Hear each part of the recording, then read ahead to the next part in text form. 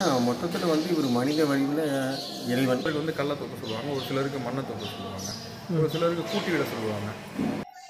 தப்பிச்சும் போக முடியாது. அது கண்டிப்பாக நம்ம அனுபவிச்சு தான் ஆகணும் ஆமாம் அப்போது அந்த மாதிரி இறை தூதர்கள்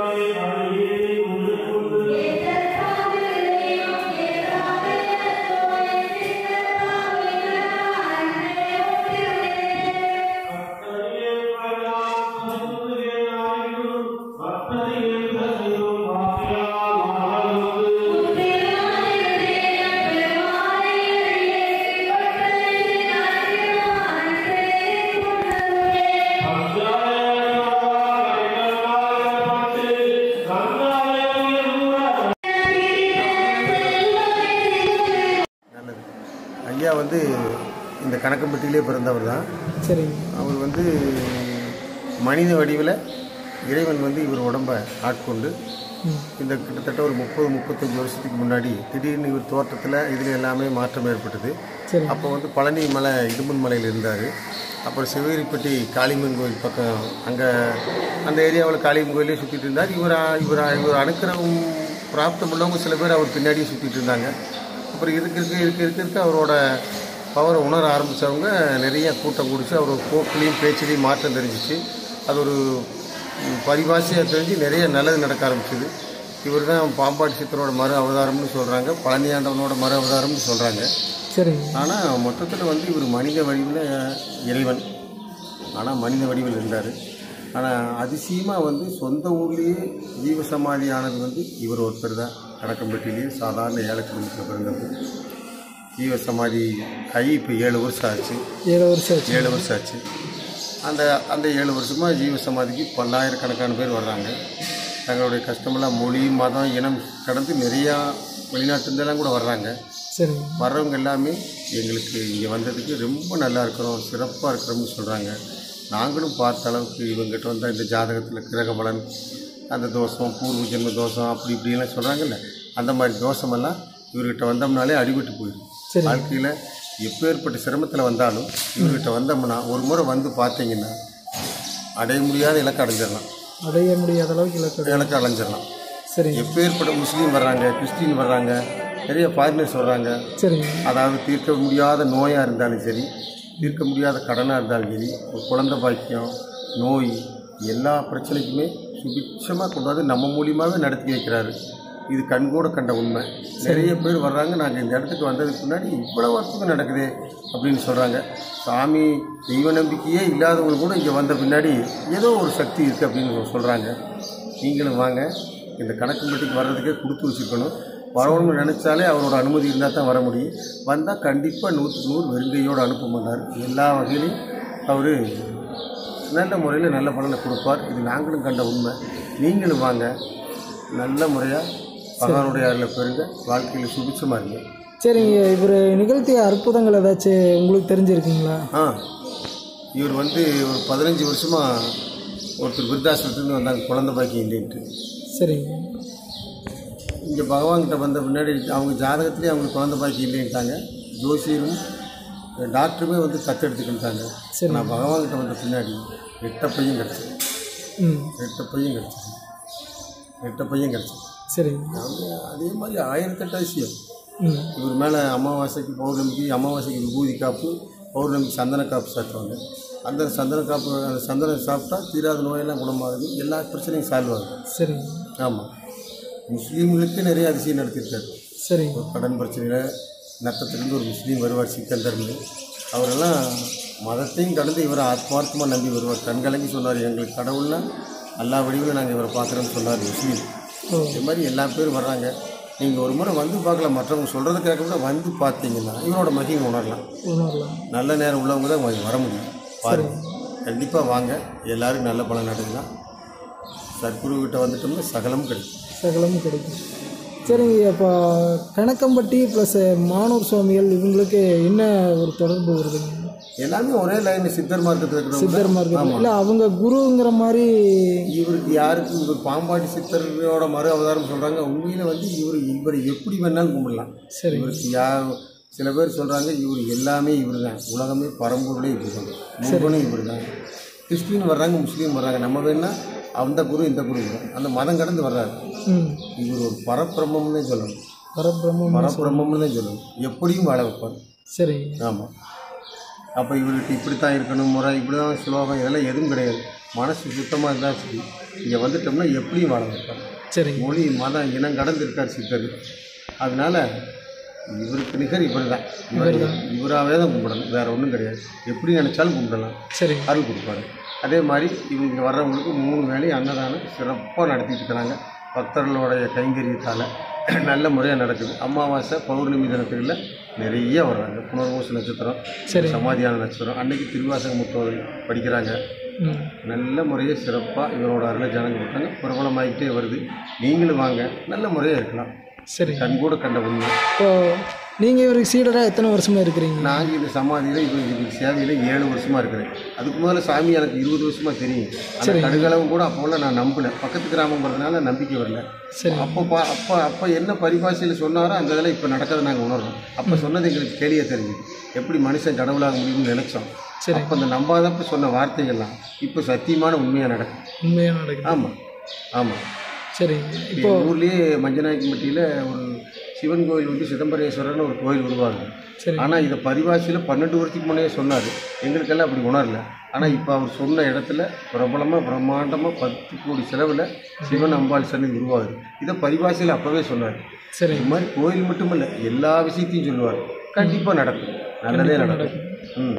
சரி உங்கள் வாழ்க்கையில் அவருனால ஏதாச்சும் அற்புதம் இந்த நிகழ்ந்து வாழ்க்கையிலையும் நான் இங்கே வரும்போதே வந்து ஆன்மீக தேடலுக்காக என்னுடைய சூழல் பெரிய கடன் பிரச்சனையை சிக்கித்தான் இங்கே வந்தேன்.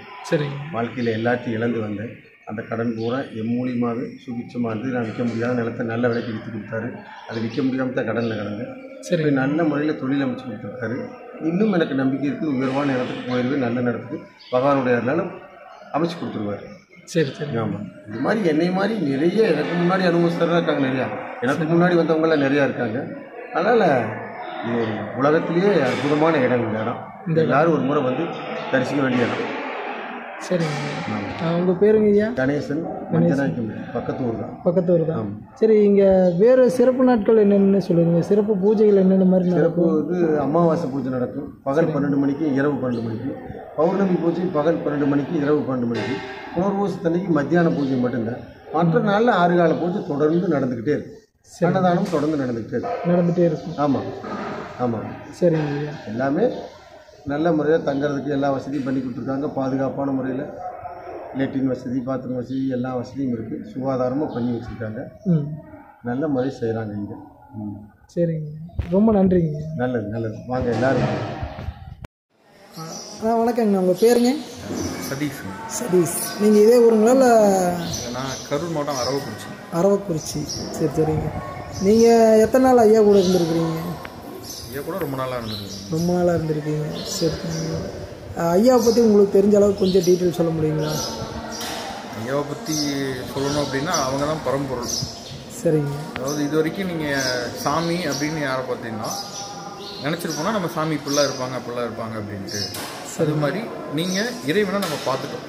இவங்க தான் இறைவன். உலகத்துக்கு அவங்க அறிவிச்சாங்க சாமி. சரிங்க. தாங்க தான் இறைவன். தங்களை வந்து பார்த்து நல்லதெல்லாம் நடக்கணும். அப்படின்ட்டு இருந்திருக்காங்க நிறைய மக்களுக்கு நல்லது செஞ்சுருக்காங்க. பிறவி பிணிகளை போக்கியிருக்காங்க. கர்ம வினைகளை போக்கியிருக்காங்க. ஐயா எப்படின்னு கேட்டிங்கன்னா நிறைய வேலை சொல்லுவாங்க. சரிங்க. பத்து விரலில் பாடுபடணும்டா சாமி. அஞ்சு விரலில் சாப்பிடணும் அப்படின்னு சொல்லுவாங்க. இதுதான் சாமியோட கணக்கு. பாடுபடாமல் எதுவுமே கிடைக்காது. சரிங்க. உழைச்சி சாப்பிடணும் அப்படின்னா சாமி நிறையா சொல்லுது நம்மளுடைய கர்ம வினைகளுக்கு ஏற்ற மாதிரி சாமி இந்த இடத்துல சாமியோட தோட்டத்தில் சாமியோட மேற்பார்வையில் ஒரு சில வேலைகள் கொடுப்பாங்க. ஒரு சிலருக்கு வந்து கல்லை தூக்க சொல்லுவாங்க ஒரு சிலருக்கு மண்ணை தூக்க சொல்லுவாங்க ஒரு சிலருக்கு கூட்டி விட சொல்லுவாங்க. இந்த- மாதிரி அவங்களுடைய இது வந்து நமக்கு தெரியாது. சாமிக்கு மட்டும்தான் தெரியும். சாமி அந்த மாதிரி நிறையான வேலைகள் எல்லாத்துக்கும் கொடுத்து அவங்களுடைய கர்ம வினைகளை போக்கி பண்ணியிருக்காங்க. ஆக்சுவலி இறை வழிபாட்டில் சித்தர் வழிபாடுங்கிறது வந்து ரொம்ப சிறப்பானது. இந்த சித்தர்கள் வந்து என்ன செய்வாங்க அப்படின்னு கேட்டிங்கன்னா எனக்கு தெரிஞ்ச வரைக்கும் நம்மளுடைய கர்ம வினைகளை வந்து நம்ம தள்ளி போட முடியாது. தப்பிச்சும் போக முடியாது. அதை கண்டிப்பாக நம்ம அனுபவிச்சு தான் ஆகணும் ஆமாம் அப்போது அந்த மாதிரி இறை தூதர்கள் நம்ம கணக்க முடிய இறைவன்ட்ட நம்ம வர்றப்போ அவங்க என்ன செய்வாங்கன்னா அதனுடைய வீரியத்தை குறைச்சி அந்த கர்ம வினையை நம்ம அனுபவிப்போம். சரிங்க அதுதாங்க இந்த மாதிரி ஒரு சில விஷயங்கள்லாம் ஐயா பண்ணிட்டு இருக்காங்க இன்றைக்கும் சுச்சமமாக இருந்து எல்லாத்துக்குள்ளேயும் பேசிக்கிட்டு இருக்காங்க சரிங்க ஒரு சிலருக்கு கனவு மூலியமாக உத்தரவு கொடுப்பாங்க. ஒரு சிலருக்கு அசரீரியாக சொல்லுவாங்க. ஒரு சிலருக்கு தனக்குள்ளேயே ஒரு கேள்வி வந்து தனக்குள்ளேயே ஒரு பதிலை கொடுப்பாங்க. இன்னும் ஒரு சிலருக்கு வந்து இப்போ நண்பர்கள் மூலியமாகவோ இல்லை தொடர்பில் டக்குன்னு வரும். இப்போ நான் வந்து போயிட்டு வச்சுக்கோங்களேன் நேற்று நைட் வந்து நான் இங்கே வருவேன் நான் நினச்சி கூட பார்க்கல. இன்றைக்கி நான் இங்கே இருப்பேன் அப்படின்றது. நான் ஒர்க் பண்ணிட்டு இருக்கேங்க ஸ்கூலில் டீச்சராக ஒர்க் பண்ணிருக்கேன் டீச்சராக இருக்கீங்க டீச்சராக ஒர்க் பண்ணிட்டு இருக்கேன் சரிங்க. ஒர்க் பண்ணுறப்போ இன்றைக்கி நான் ஸ்கூலுக்கு போகணும். நேற்று நைட்டு திடீர்னு ஒரு பதினொன்றரை மணிக்கு டக்குன்னு மனசுக்குள்ள அடிக்கிறாங்க வரணும்னு. இது ஒரு பத்து நாளைக்கு முன்னாடி பார்த்தீங்க அப்படின்னா திடீர்னு போகிறோம் ஒரு காரில் ஒரு ஸ்டிக்கர் ஒட்டி சாமியோட ஸ்டிக்கர் ஒட்டி அந்த போகுது அப்படின்னா சாமி நம்ம கூட இருக்காங்க அப்படிங்கிறது. இப்போ நிறைய இடத்துல வாசகங்கள்லாம் வச்சுருப்பாங்க சாமி. சாமி வந்து நம்ம எங்கே இருந்து படித்தாலும் சாமிக்கு கேட்கும் நம்ம கணக்கம்பட்டி இந்த இடத்துல வந்து தான் நம்ம சாமிகிட்ட படிக்கணும் அப்படிங்கிறது இல்லை. மனசார உருகி சாமிகிட்ட நீங்கள் எந்த இடத்துல என்ன கேட்டாலும் உங்களுக்கான விஷயங்களை சாமி செஞ்சு கொடுப்பாங்க. சரிங்க இதுதாங்க சாமியுடைய. இப்போ அவர்னால உங்கள் வாழ்க்கையில் என்ன மாறுதல் உருவாயிருக்கு. அவரை அஹ், அதாவது உங்களுக்கு என்ன அனுபவம் நடந்திருக்குன்னு தெரிஞ்சுக்கணும்லங்க. எனக்கு நிறையான அனுபவங்கள்ங்க சாமி கூட. கிட்டத்தட்ட ரொம்ப காலமாக ஐயா கூட இருக்கிறதுனால நிறையான விஷயங்கள் செஞ்சு கொடுத்துருக்காங்க சாமி. சுருக்கமாக சொல்ல போனோம் அப்படின்னா எனக்கெல்லாம் உயிரை கொடுத்துருக்காங்க. உயிரே கொடுத்துருக்காரு. ஒரு சில லைஃப்பில் வந்து டக்குனு போயிட்டு இருக்கப்போ ஒரு ஆக்சிடென்ட் நடக்குதுன்னு. அந்த இடத்துல யாராக இருந்தாலும் பிழைச்சிருக்கவே முடியாது. சரிங்க அழகா ஒரு கோழி குஞ்சு மாதிரி நான். என்னை சுற்றி ஒரு நிறையா ஒரு நாகப்பாம்பு படம் எடுத்து நிற்கிற மாதிரி. ஒரு கழுகு பறந்து வந்து அப்படி அந்த கோழி குஞ்சு தூக்கிட்டு போய் இன்னொரு பக்கம் விடும் பார்த்தீங்களா? அந்த மாதிரி விஷயங்கள் தான் ஐயா எனக்கு பண்ணி கொடுத்துருக்காங்க உயிரை கொடுத்துருக்காங்க உயிரை கொடுத்துருக்காரு சரிங்க இப்போ இங்கே வேறு என்னென்ன பூஜைகள் சிறப்பாக நட நடைபெற்றிருக்கீங்க சாமி இறைவனுக்கு ஐயாவுக்கு எல்லா நாளும் சிறந்த சிறப்பு தான். சரிங்க. சாமி வந்து இந்தபடி தான் நீங்கள் சாமி கும்பிடணும்லாம் சொல்ல எதுவுமே சொல்லலை. சரி சாமி வந்து எப்பவுமே பார்க்கறது உண்மையான மனசை மட்டும்தான். உண்மையாக சொல்லி சாமிகிட்ட நீங்கள் அழுது புலம்பிலாம் கேட்கணும்னு அதுவே உண்மையாக நீங்கள் சாமிகிட்ட உரிமையாக கேளுங்க சாமி உங்களுக்கு எல்லாமே சொல்லுவோம் எல்லாமே தெரிஞ்சு சரி ஓகேங்க. இவரோட இயற்பெயர் என்னன்னு தெரிஞ்சுக்கலாங்களா? சாமியோட பேர் வந்து காளிமுத்து சாமி காளிமுத்து சுவாமி. காளிமுத்து சாமி இங்கே நாங்கள் சாமியை கூப்பிட்றது வந்து சாமின்னு தான் கூப்பிடுவோம். சாமியோட பேர் சொல்லிலாம் இன்னைக்கு வரைக்கும் சாமியோட பக்தர்கள் யாருமே சாமியோட பேர் சொல்லி கூப்பிட்டதே கிடையாது. சரிங்க எங்களுக்கு தெரிஞ்ச வரைக்கும் ஐயா சாமி. இது மட்டும்தான் சரிங்க. ரொம்ப நன்றிங்க. மேலும் இந்த பதிவு உங்களுக்கு பிடிச்சிருந்ததுன்னா லைக் பண்ணுங்க சப்ஸ்கிரைப் பண்ணுங்க. சப்ஸ்கிரைப் பண்ணோடனே மறக்காம பெல் பட்டனை பிரஸ் பண்ணி ஆள் கொடுத்துருங்க. அப்பதான் நம்ம போடுற பதிவுகள் அனைத்தும் விரைவில் உங்களை வந்தடையும். மீண்டும் அடுத்த ஒரு நல்ல பதிவில் உங்களை சந்திக்க காத்திருக்கிறேன். அதுவரை உங்களிடமிருந்து விடைபெறுவது தமிழ் சிங்கம் சேனலிலிருந்து உங்கள் கிருஷ்ணா. மீண்டும் அடுத்த நல்ல பதிவில் உங்களை சந்திக்க காத்திருக்கிறேன். இந்த பதிவை பார்த்தமைக்கு மிக்க நன்றி. மீண்டும் அடுத்த நல்ல பதிவில் சந்திப்போம்.